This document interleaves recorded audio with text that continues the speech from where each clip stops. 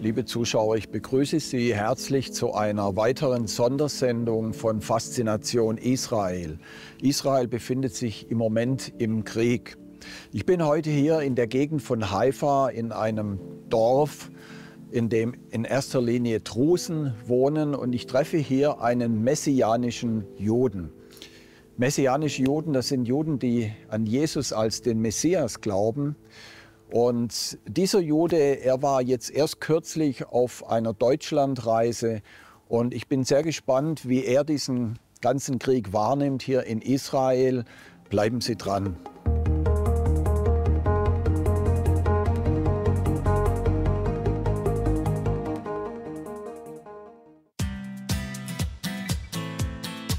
Hier auf dem höchsten Punkt des Karmelgebirges hat eine Kirche seit 1998 ihr Zuhause. Die Kehilat HaKarmel.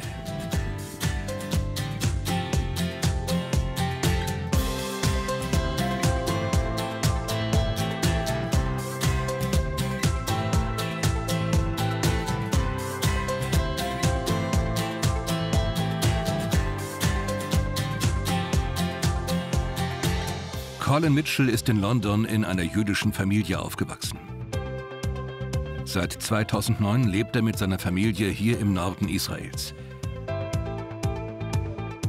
Er ist einer der Pastoren bei Kehilat Hakamel und ist als Sprecher und Bibellehrer in Israel als auch international unterwegs.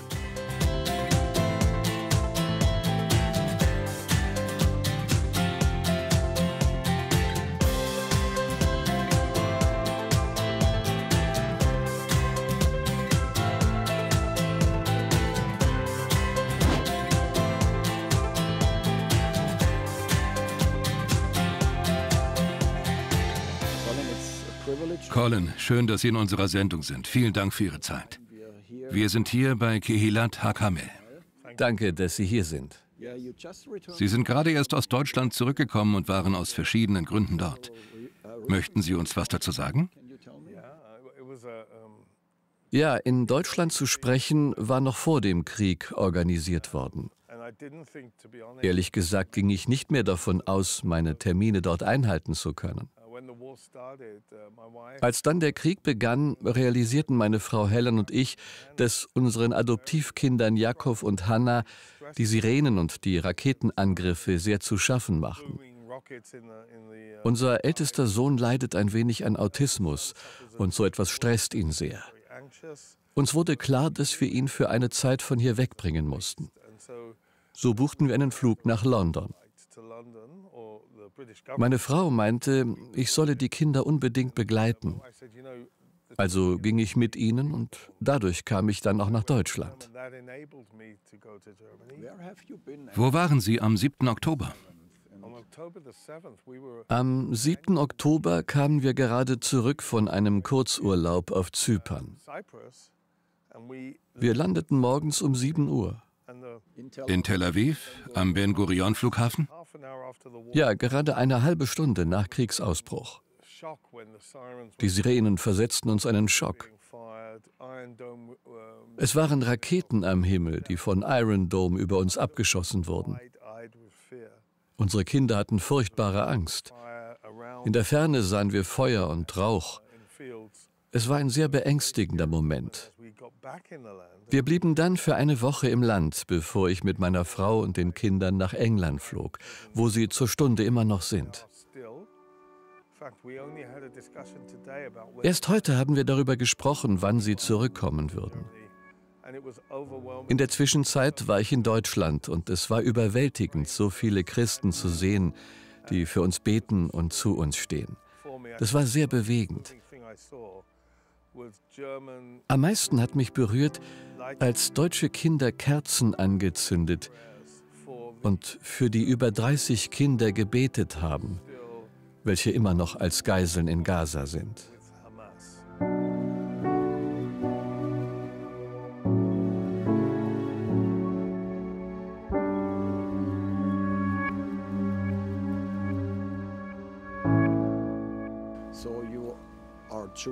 Sie sind jüdisch und leben seit vielen Jahren hier im Land. Ursprünglich kommen Sie aus England. Wie ist es für die Menschen hier in Israel, mit so einer furchtbaren Tragödie konfrontiert zu sein?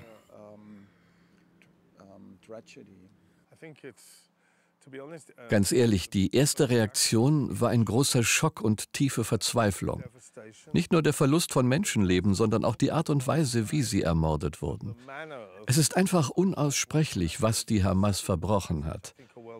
Das alles ist gut dokumentiert, aber es dauert nicht lange und die Medien haben es schon wieder vergessen. Wir aber können das nicht vergessen. Das Ganze war so schockierend. Wir konnten vielleicht schlafen, aber nicht zur Ruhe kommen. Es ist ein nationales Trauma, so verheerend. Es wird nach meiner Ansicht mindestens eine Generation dauern, bis das überwunden ist. Der schlimmste Massenmord am jüdischen Volk.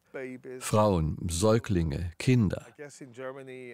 In Deutschland hat man sicherlich von der jungen Frau Shani Luke gehört. Eine deutsche Jüdin, die von der Hamas auf einer Party ermordet wurde. Ihre Leiche wurde auf einem Jeep durch Gaza gefahren, während die Hamas Süßigkeiten an Kinder verteilte. All das hat hier im Land zu einer Entschlossenheit geführt, die Hamas endgültig zu beseitigen. Wir beklagen jeden Verlust unschuldigen Lebens unter den Palästinensern. Und ja, wir beten auch für sie. Unsere Kirche besteht aus Juden und Arabern, die sich gegenseitig respektieren. Es gibt hier keinen Hass und wir feiern nicht den Tod des anderen. Aber ich denke, das Beste für die unschuldigen Menschen in Gaza und für Israel ist die Beseitigung der Hamas. Das würde Freiheit für beide Seiten bedeuten. Sie haben Ihre Kirche erwähnt, zu der auch Araber gehören und die sich in einem Drusendorf befindet. Wie klappt das als jüdische Christen in so einer Nachbarschaft zu leben? Jüdischer Christ, ist das der richtige Ausdruck? Nun, äh, wir nennen uns messianische Juden. Ein Jude, der an Jesus glaubt, der ihn als den Messias anerkennt. Ich bin vor über 40 Jahren in London zum Glauben gekommen. Heute gibt es in Israel eine Bewegung, wo Juden als auch Araber zum Glauben an Jesus kommen. Diese Bewegung wächst stetig und in der aktuellen Situation wird sie weiter wachsen. Wir befinden uns hier in einem Drusendorf. Die Drusen sind dem Staat Israel gegenüber sehr loyal und kämpfen sogar in der israelischen Armee. Nicht weit von hier gibt es einen Soldatenfriedhof für Drusen, die im Kampf für Israel gefallen sind. Und jedes Jahr am Yom HaZikaron, einem israelischen Gedenktag, findet dort eine Zeremonie statt. Israelische Regierungsvertreter nehmen daran teil und wir tun das auch. Im Namen unserer Kirche legen wir Kränze nieder zum Gedenken der Opfer der Drusensoldaten. Außerdem haben meine Frau und ich mit unseren Kindern neun Jahre lang im Dorf gelebt. Daher kennen wir viele Leute hier sehr gut und haben gute Beziehungen. Ihre Kirche sucht also Beziehungen zu Arabern wie zu anderen Menschen auch. Und Sie persönlich haben Adoptivkinder, die teils arabisch sind.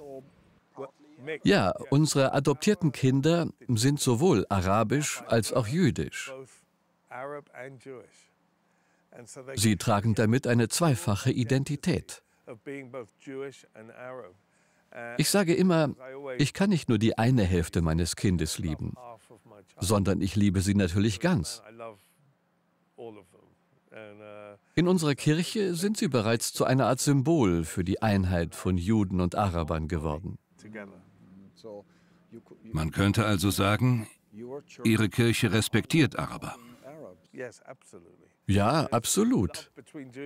Wir pflegen gute Beziehungen zwischen Juden und Arabern.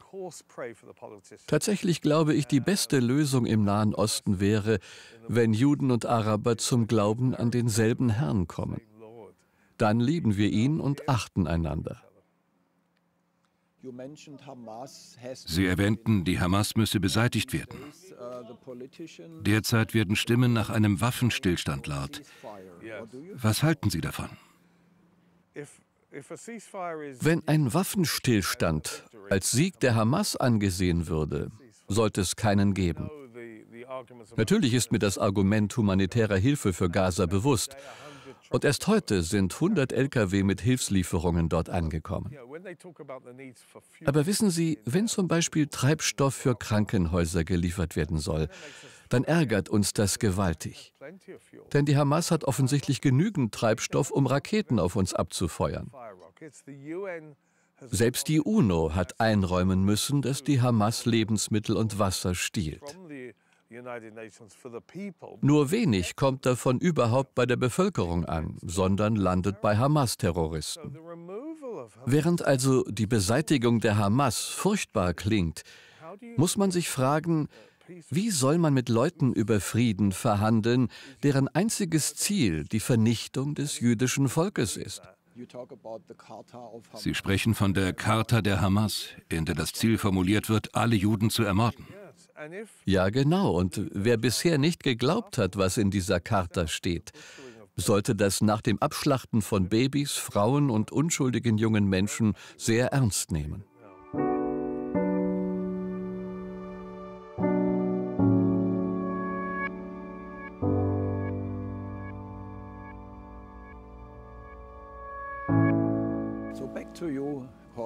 Zurück zu Ihrer Person, Colin. Sie sind Mitglied dieser Kirche, der Sie sehr verbunden sind. Dennoch sind Sie freiberuflich tätig. Was genau ist Ihr Job? Ich kümmere mich um meine Kinder, bin aber auch in der Kirchenleitung aktiv. Ich leite viele der Gebetsversammlungen hier, wo wir zum Beispiel auch für die Terroristen beten. Denn Jesus selbst hat gesagt, liebt eure Feinde. Und das ist eine ziemliche Herausforderung. Zusätzlich berate ich junge Männer, sowohl Juden als auch Araber. Wir haben viele junge Menschen hier, die ich als meine geistlichen Söhne und Töchter betrachte. Ich verbringe also viel Zeit mit Beratung und Betreuung und arbeite vor allem im Bereich Gebet in der Kirche mit. Ich habe noch eine junge Familie. Jakob ist neun und Hannah ist sieben. Benimmt sich zwar wie ein Teenager, aber sie ist sieben. So bin ich immer beschäftigt und dann spreche ich manchmal auch international. Lassen Sie uns über die Situation in Israel sprechen. Wir haben viele Menschen gesehen, die Flüchtlinge in ihrem eigenen Land sind. Menschen in der Nähe zu Gaza wurden evakuiert und viele von ihnen leben wochenlang in Hotels. Was macht das mit den Menschen?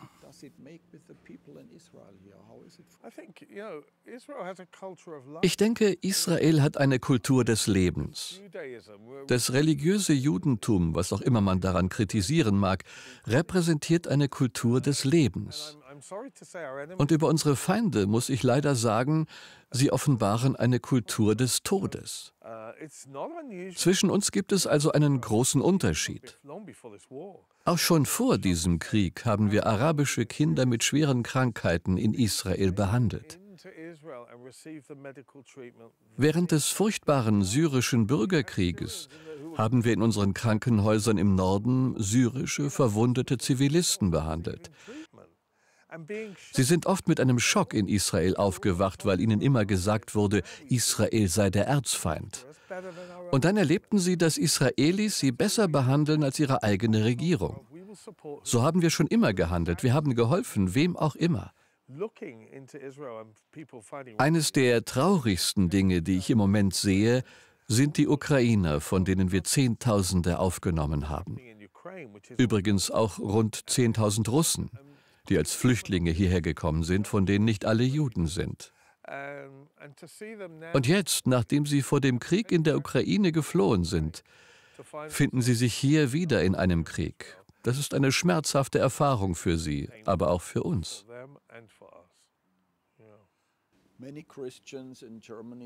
Viele Christen in Deutschland sehen unsere Filme. Was wäre Ihre Botschaft an die deutschen Christen? Zunächst möchte ich sagen, vielen Dank. Ich danke Ihnen von Herzen für Ihre wohlwollende Unterstützung. Als ich in Deutschland war, hat mich das sehr berührt. Wir wissen alle Hilfe in dieser schrecklichen Zeit sehr zu schätzen. Aber ich bitte Sie auch, hören Sie nicht auf zu beten. Gebet hilft. Ich habe in Deutschland darüber gesprochen, wie wir für solch eine Situation beten können. Denn oft wissen die Leute nicht so recht, wie sie beten sollen. Es ist immer gut, mit der Bibel zu beten und das Wort Gottes zu proklamieren über Israel, über Gaza, über die arabischen Nationen, über den Iran. Ja, wir beten auch für den Iran. Ich möchte Ihnen ein Beispiel geben. Es ist aus Psalm 46.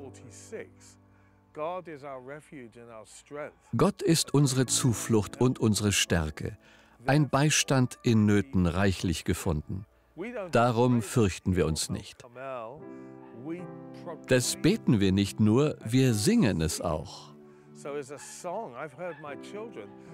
Unsere Kinder singen das im Auto auf Hebräisch. Es geht etwa so. Eloheinu lanu machase vaos.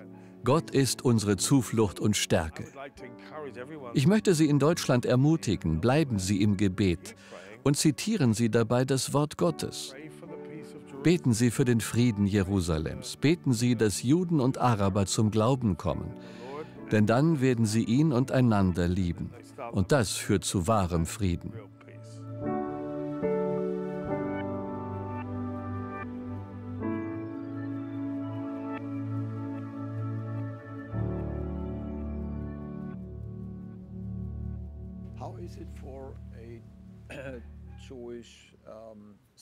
Wie ist das für die Menschen hier in Israel? Ich meine, dass fast wöchentlich Raketen aus Gaza abgefeuert werden, ist ja nichts Neues. Und man hat sich an die Schutzbunker gewöhnt. Wie geht es Ihnen dabei? Haben Sie einen Schutzraum in Ihrem Haus? Ja, das haben wir. Es ist das Kinderzimmer unserer siebenjährigen Tochter mit einer massiven Sicherheitstür. Und sie ist ziemlich glücklich darüber, dass ihr Zimmer der Schutzraum ist. Wir sind also daran gewöhnt. Sicherheit ist Teil unseres Lebens, egal ob im Supermarkt oder im Einkaufszentrum. Trotzdem sind die Leute schockiert, wenn dann etwas passiert. Aber inzwischen hat sich im Volk eine Entschlossenheit entwickelt, dies gemeinsam als Nation durchzustehen. Nicht mit Hass, aber wir müssen damit fertig werden. Ich denke, es wird viel Hilfe brauchen, das Trauma zu überwinden. Ich habe gestern mit einem Taxifahrer gesprochen. Er meinte, es ist wirklich schwer, vor allem mit kleinen Kindern. Gerade haben sie die Schulen wieder geöffnet. Aber das kann sich mit jedem Tag ändern. Manchmal kommt es zu einem Fehlalarm. Die Hisbollah im Libanon würde Raketen abfeuern. Und wenn die Sirenen losgehen, werden die Schulen sofort geschlossen. Alle machen sich dann auf den Weg, ihre Kinder wieder abzuholen. Ich glaube, niemand im Westen würde so leben wollen. Und ich muss sagen, wir wollen so auch nicht leben. Denken Sie, es wird eines Tages Frieden geben? Wenn man sich die Abraham-Abkommen mit manchen Nachbarstaaten anschaut. Denken Sie, Frieden ist möglich? Nun, es zeigt, was möglich ist. Aber es bleibt die Frage, ob in den Ländern, die das Abraham-Abkommen unterzeichnet haben, die Bevölkerung genauso denkt wie ihre Regierungen. Wir haben seit Jahren Friedensverträge mit Ägypten und Jordanien. Trotzdem sind uns die Menschen in diesen Ländern nicht gerade wohlgesonnen. Politischer Frieden ist also keine Lösung. Und ich glaube, dieses Problem hat eine spirituelle Dynamik. Bei allem Respekt für die Politiker, sie werden unsere Probleme nicht lösen können.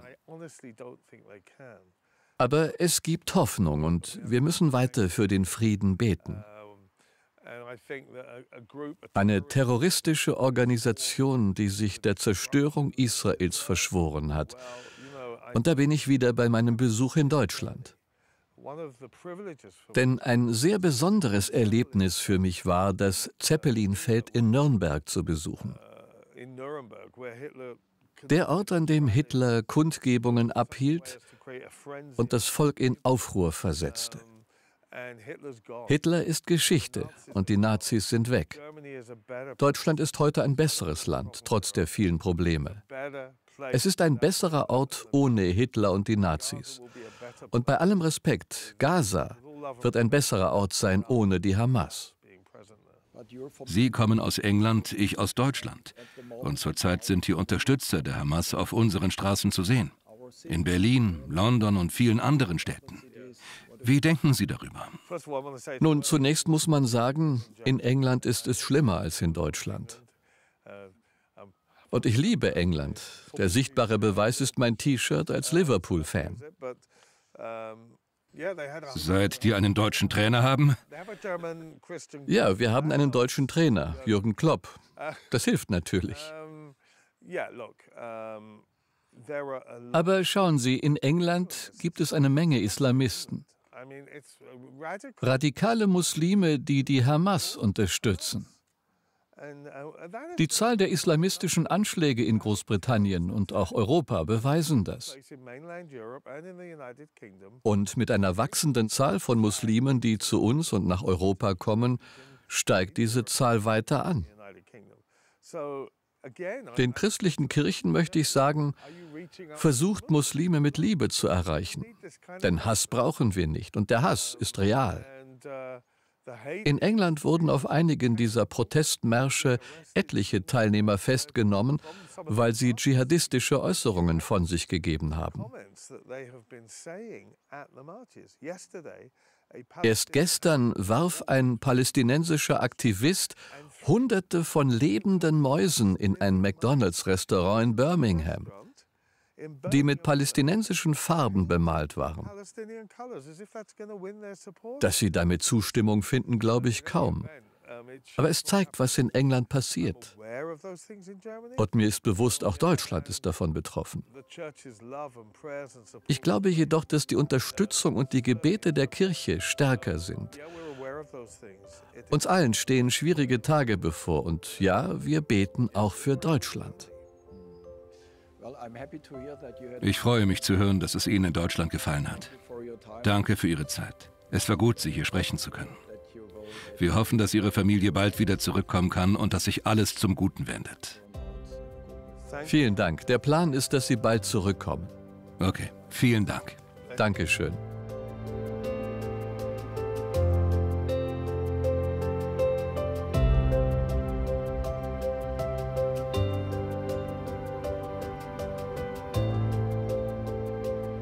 Liebe Zuschauer, wie Sie es eben von Colin Mitchell gehört haben, ich glaube, es ist ein Aufruf an alle Christen weltweit, aber auch an die Christenheit in Deutschland, in diesem Konflikt, in diesem Krieg, in dem Israel im Moment steckt, mit einzusteigen im Gebet und auch mit ganz konkreter Hilfe. Wir wollen diesen Aufruf ernst nehmen wollen an der Seite Israels stehen, so gut wir können.